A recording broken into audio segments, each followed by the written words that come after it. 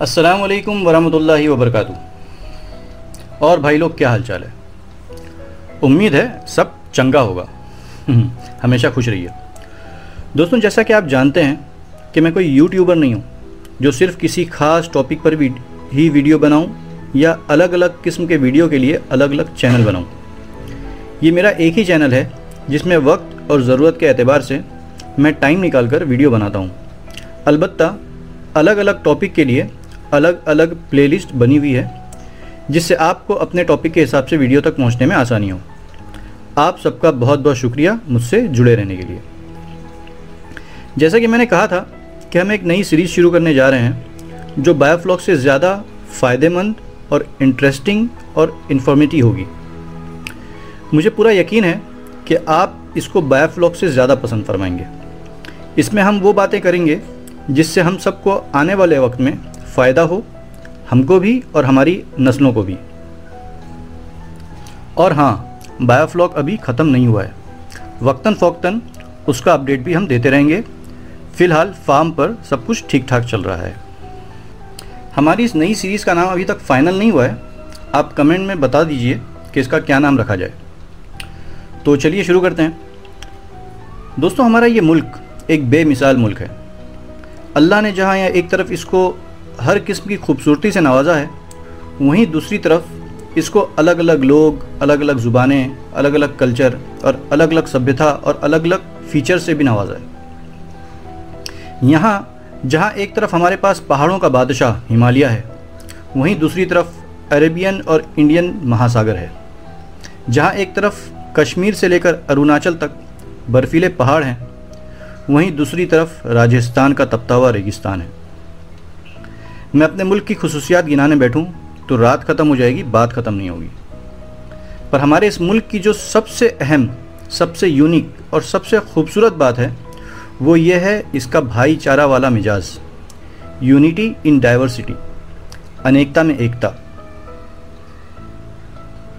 और ये कोई 1947 के बाद वजूद में नहीं आई है, बल्कि इसकी एक ख़ास खसूसियत कई सौ सालों से है। और यही वो ताकत है जिसकी वजह से हम सबने मिलकर अंग्रेज़ों को यहाँ से भागने पर मजबूर कर दिया था। और आज़ादी के बाद, एक बार फिर इस यूनिटी को देखकर मुझे बहुत खुशी हो रही है। वो कहते हैं ना कि मुद्दई लाख बुरा चाहे तो क्या होता है।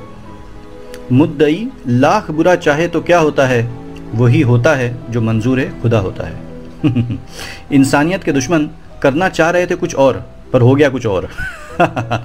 रंग अलग, ज़ुबान अलग, धर्म अलग, जाति अलग।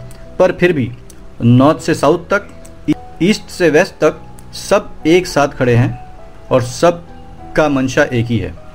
क्या बात है। वेरी गुड इस यूनिटी को देखकर मुझे अपनी लाइफ अपनी लाइफ के कुछ खूबसूरत लम्हे याद आ गए, जो आज मैं आपके साथ शेयर करना चाहता हूँ। आपको बहुत मज़ा आएगा। It's going to be very interesting very informative as well as very appreciable story number one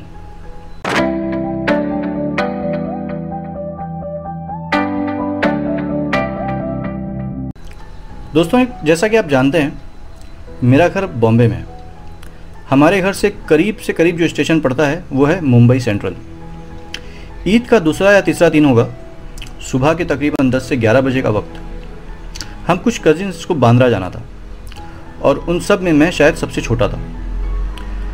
सभी ने ईद पर नया कुर्ता पजामा पहना हुआ था। हम बॉम्बे सेंट्रल पहुँचे और फास्ट लोकल के प्लेटफॉर्म नंबर तीन पर उतरे। वहाँ का इंडी, वहाँ का जो इंडिकेटर था, उसमें गाड़ी थोड़ी लेट बता रहा था। तो सबने ये डिसाइड किया कि रेलवे ट्रैक क्रॉस करके प्लेटफॉर्म नंबर वन से स्लो गाड़ी पकड़ लेते हैं और उससे जाते हैं, जो आने वाली थी। टाइम बच जाता। काफ़ी पहले की बात है, स्कूल टाइम की।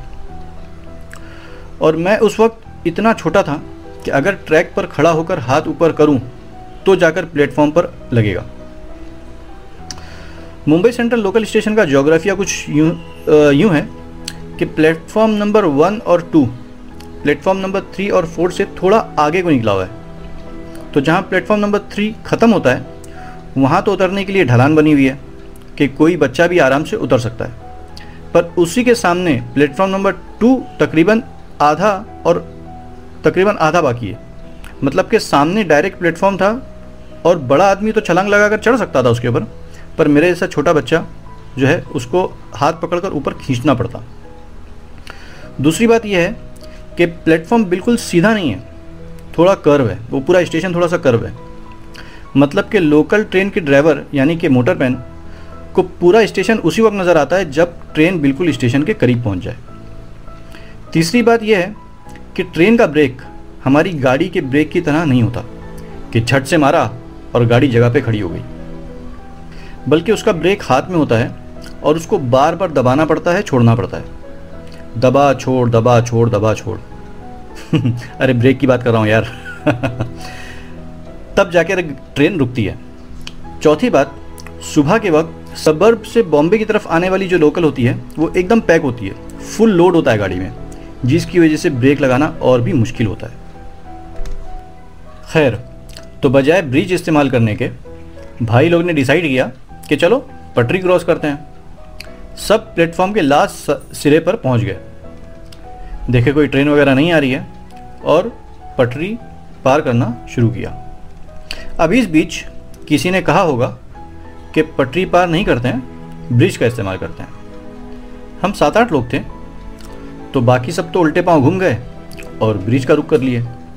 यहाँ दूसरी तरफ़ मैं, जो सबसे आगे था, मुझे इस मशवरे का पता ही नहीं चला कि कहानी पीछे बदल गई है। और मैं अपनी धुन में पटरी पार करना शुरू कर चुका था। और उन लोगों को भी कोई एहसास नहीं हुआ कि मैं उनके साथ में नहीं हूँ। ध्यान तो तब गया जब पूरे प्लेटफॉर्म पर लोगों के चीखने चिल्लाने की आवाज़ आना शुरू हुई। प्लेटफॉर्म नंबर दो के पूरे लोग एक बच्चे को देखकर चिल्ला रहे थे और उसका ध्यान इस तरफ़ दिलाने की कोशिश कर रहे थे कि प्लेटफॉर्म नंबर दो पर ही लोकल ट्रेन आ रही है।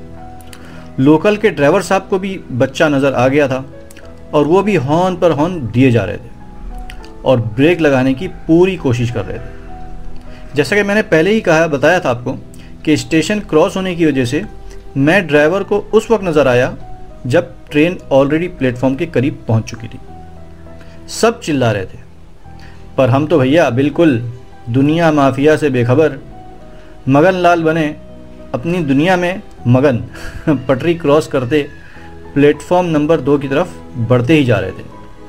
बिल्कुल ध्यान से नज़र नीची किए पटरी देख देख कर प्लेटफॉर्म नंबर दो की तरफ़ अपने छोटे छोटे कदमों से बढ़ रहे थे।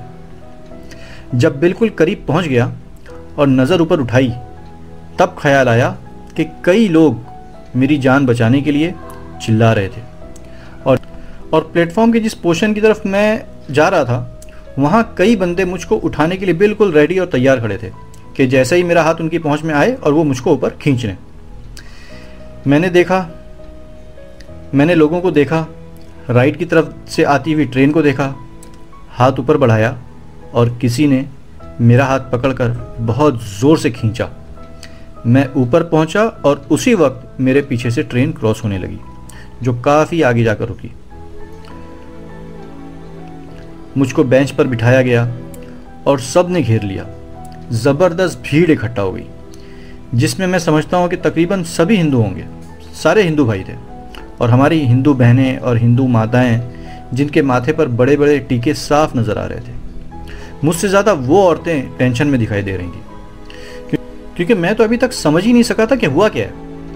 मुझको थोड़ा टाइम लगा ये रियलाइज़ करने में कि मैं जो इतनी देर से ट्रेन की आवाज़ सुन रहा था, वो मेरे लिए थी।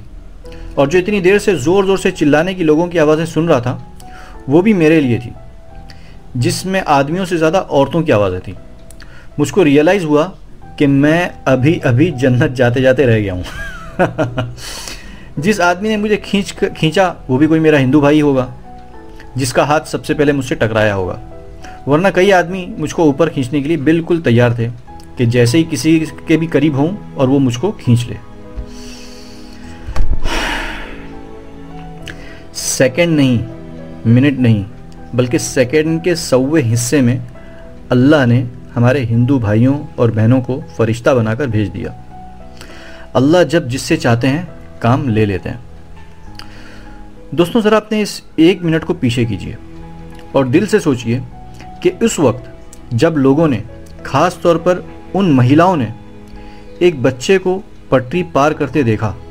उस पटरी पर जिस पर ट्रेन आ रही थी, उन लोगों का, उन महिलाओं का क्या हाल हुआ होगा? उनके जहन और दिल कैसे बेचैन होंगे? साँसें रुक गई होंगी। फिक्रमंदी अपनी इंतहा को होगी। अंदाज़ा लगाइए कि वो अभी कुछ सेकंड बाद जो देखने वाले थे, वो कितना भयानक होने वाला था। क्या ये ट्रेन इस बच्चे को कुचल देगी? क्या वो इस मंज़र को देख पाएँगे? क्या वो कभी इस ट्रेजिडी को भुला पाएँगे? ज़रा खुद सोचिए कि उस वक्त कैसी टेंस्ड सिचुएशन थी। और जब उस बच्चे की जान बच गई तो उन सबको कितना रिलैक्स फील हुआ होगा। और ख़ास तौर पर महिलाओं की जान में जान आई होगी। पता नहीं कितनों के तो आँसू निकल गए होंगे। दोस्तों, क्या आपको लगता है कि वो मंजर मैं कभी भूल सकता हूँ? कभी नहीं भूल सकता। क्या किसी ने बच्चे को बचाने के टाइम सोचा कि ये हिंदू का बच्चा है या मुसलमान का? नहीं। पूरे प्लेटफॉर्म पर जो पब्लिक थी, जो मुझको बचाने के लिए आवाज़ लगा रही थी, चीख रही थी, चिल्ला रही थी, वो किस धर्म की थी? वो किस जाति की थी? वो किस मज़हब की थी? उसमें 99 परसेंट मैं समझता हूँ, हमारे हिंदू भाई थे। पर क्या उन्होंने सोचा कि छोड़ो छोड़ो यार, ये तो उस मुसलमान का बच्चा दिख रहा है, कुर्ता पहना है। मरता है तो मरने दो। किसी ने सोचा? नहीं। उन सबको उस वक्त इंसान होने का एहसास हो रहा था। उस वक्त वो जो अमल कर रहे थे, उसी को हम इंसानियत कहते हैं। हम कोई भी धर्म जाति के हों, अगर हम किसी इंसान को तकलीफ़ में देखते हैं तो कहीं ना कहीं हमारे, हमारा खून हमको इस बात का एहसास दिलाता है कि हम एक ही हैं, एक ही माँ बाप की औलाद हैं। सामने वाले को तकलीफ़ में देखकर हमको भी दुख होता है। जितना ज़्यादा हम में इंसानियत होती है, उतना ज़्यादा हम उसकी तकलीफ़ को दूर करने की कोशिश करते हैं।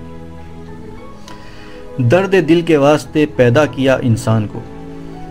दर्द दिल के वास्ते पैदा किया इंसान को, वरना सिर्फ़ इबादत के लिए कुछ कम ना थे कर रो बयां। शेर को थोड़ा सा मॉडिफाइड कर दिया हूँ। अब यहाँ अब यहाँ थोड़ी देर के लिए हम जगह और धर्म बदल देते हैं। क्या अगर यही सीन पाकिस्तान या बांग्लादेश के किसी स्टेशन पर होता? बच्चा कोई टीका लगाया हुआ किसी हिंदू भाई का होता। और प्लेटफॉर्म पर खड़े हुए लोग सारे के सारे मुसलमान होते तो क्या होता? मेरा सवाल मुसलमानों से है। आप बताइए कि आप उस हिंदू धर्म के मासूम बच्चे के लिए क्या करते?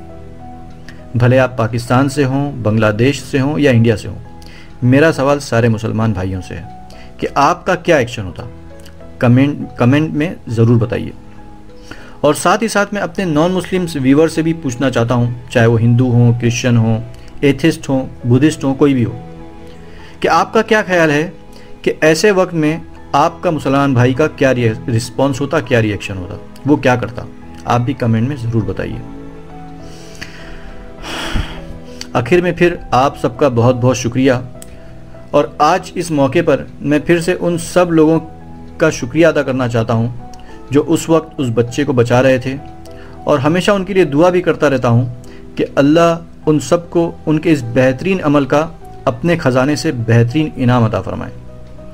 दोस्तों ये हमारे मुल्क की सबसे असल खूबसूरती। आपको भी, कभी भी, कहीं भी, कोई भी तकलीफ़ में दिख जाए ना, अपना नसीब समझना। जो कर सकते हो, कर देना। क्योंकि दर्द दिल के वास्ते पैदा किया इंसान को, वरना सिर्फ़ इबादत के लिए कुछ कम ना थे, कर रो बयां। इस वीडियो को शेयर करके इंसानियत की इस तस्वीर और तस्वुर को फैलाने में इंसानियत की मदद कीजिए, क्योंकि हर धर्म, हर मज़हब इंसानियत ही की तालीम देता है। वीडियो को शेयर ज़रूर कीजिए। अस्सलाम वरहमल वर्का जय हिंद